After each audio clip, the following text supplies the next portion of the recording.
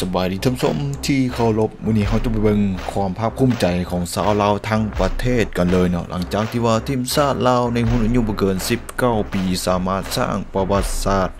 ได้ถึง 3 อย่างนะนั่นก็คือทำอิฐก็เป็นการชนะทีมชาติไทยในรุ่นอายุบ่เกิน 19 ปีเป็นครั้งทำอิฐในประวัติศาสตร์ของการแข่งขันบาสเตะซิงแซมแห่งชาติอาเซียน ในรุ่นอายุบ่เกิน 19 ปี ส่วนประวัติศาสตร์ที่ 2 ก็คือเป็นการชนะติดต่อกันได้หลายนัดที่สุดในการขันรายการนี้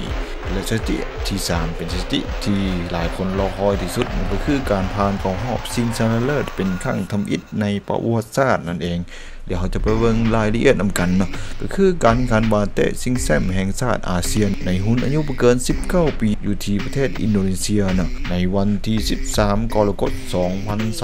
2022เนาะทีมชาติลาวในหุ้นอายุบ่เกิน 19 ปี สามารถสร้างประวัติศาสตร์โดยการเอาชนะทีมชาติไทยไปแบบ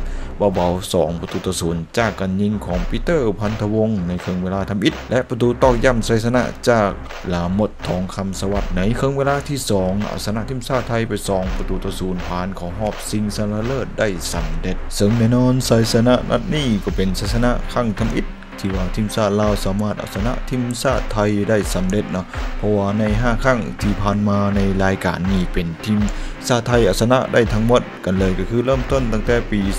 2003 ทีมชาติไทยชนะลาว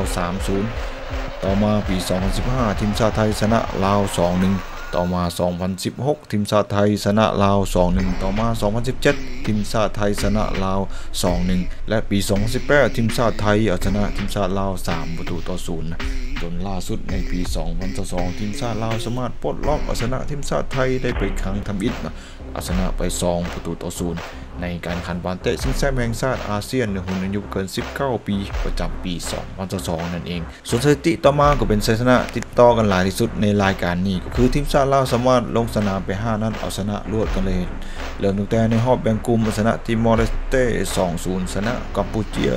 2-1ชนะสิงคโปร์3-1 และชนะทีมชาติมาเลเซีย 1-0 ผ่านของรอบห้องชนะเลิศก็เอาชนะทีมชาติไทยไป 2 ประตูต่อ0ซึ่งนี่เป็นผลงานที่ว่าที่ดีที่สุดในรายการนี้ที่เคยมีมาก็คือจัดมาตั้งแต่ปี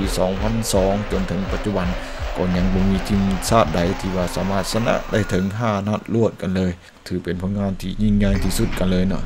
และสถิติที่ 3 ก็คือทีมชาติลาวสามารถผ่านของรอบชิงชนะเลิศได้เป็นครั้งทำอิฐเนาะในการนี้ในรายการนี้ เพราะว่าสี่ครั้งที่ผ่านมาทีมชาติลาวเฮ็ดได้ดีที่สุดก็คือผ่านเขา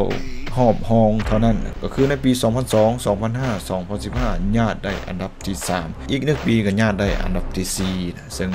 ครั้งนี้เป็นครั้งประวัติศาสตร์ที่ว่าทีมชาติเราสามารถผ่านเข้าหอบชิงชนะเลิศได้สำเร็จนั่นเองนี่ก็เป็นผลงานที่โดดเด่นของทีมชาติเราเฮาหน่อยหนึงในหุ่นอายุเกิน 19 ปีประจำนี่บอกได้เลยว่าทีมสุดนี่ถือว่ามีนักเตะที่โดดเด่นดีๆทุกๆ คนลงโตวดิ้นกันด้วยความกระตือรือร้นหลายที่สุดเนาะ เดี๋ยวเราไปเบิ่งตารางนัดชิงกันนะนัดชิงชนะเลิศจะแข่งขันในเวลา20โมง00ของวันที่ 15 กรกฎาคม2022ทีมชาติลาวจะพบกับทีมชาติมาเลเซีย ซึ่งว่าเป็นการโคจรมาพบกันอีกครั้งหนึ่งเนาะเพราะในรอบแบ่งกลุ่มทีมชาติลาวสามารถเอาชนะไป 1 ประตูต่อศูนย์นะต้องติดตามกันเบิ่งว่าทีมชาติลาวจะสามารถย่ำแค้นได้สำเร็จ หรือจะเป็นทางด้านมาเลเซียล้างแค้นได้สำเร็จแข่งขันในเวลา3โมง00ของวันที่ 15 กรกฎาคม2022ส่วนว่านัดชิงอันดับ 3 ทีมชาติเวียดนามจะพบกับทีมชาติไทยในเวลา 15โมง30 นาทีของวันที่ 15 กรกฎาคม2022นี่ก็เป็นข่าวสารที่น่าสนใจ ที่ว่าทีมงานของพวกเรานำมาเสนอ